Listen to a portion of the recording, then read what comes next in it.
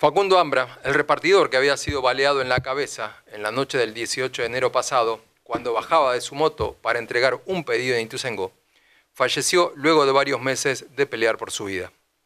Facundo estaba internado en el Hospital Güemes de Edo, donde había sido operado luego de haber sido baleado y se encontraba en estado de coma.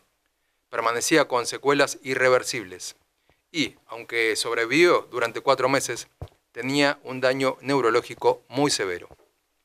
El hecho policial había sucedido en Alvear y Medeiros, Ituzaingó, y quedó registrado en una cámara de seguridad, cuando se observa los dos asesinos que balearon en la cabeza a Facundo David Ambra.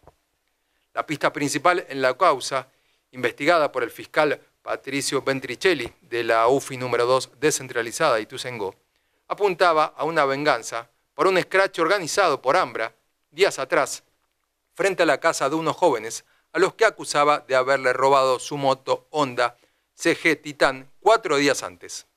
El viernes anterior al hecho, la víctima se había juntado con varios compañeros frente a una vivienda de la zona de Castelar Sur, donde el rastreo satelital implantado en la moto indicaba que se encontraba el rodado para realizarle un escrache al ladrón.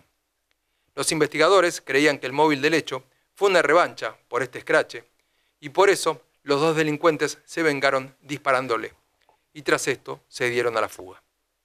El hecho de inseguridad mereció varias marchas por parte de familiares, amigos, vecinos y colegas de delivery que denunciaban su estado de indefensión en las calles. La causa penal, por otro lado, fue sumando detenidos y días posteriores la policía logró aprender a Jorge Paniagua y Alexander Urbano, dos jóvenes en Merlo y dictarles prisión preventiva por homicidio.